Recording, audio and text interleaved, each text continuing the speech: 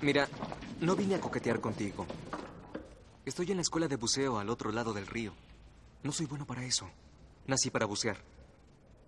Lo irónico es que si no apruebo mi próximo examen me echan fuera. ¿Cuál fue el último año que estudiaste en la escuela? Séptimo. No puedo ayudarte. ¿Por qué no? Porque he tenido que trabajar durante cuatro años en lugares como este para llegar a la escuela de medicina. Y tengo que estudiar seis semanas para un examen. Si apruebo, seré internista y tal vez algún día llegue a doctora. Te falta mucho. Y no tengo tiempo. Está bien, vete. Sigue con tus estudios, olvídate que estoy aquí, adelante. ¿Es que no lo entiendes? No importa si te ayudo o no. Igual vas a fracasar. No lo haré. No puedo. ¿Por qué quieres tanto esto? Porque dicen que no puedo tenerlo.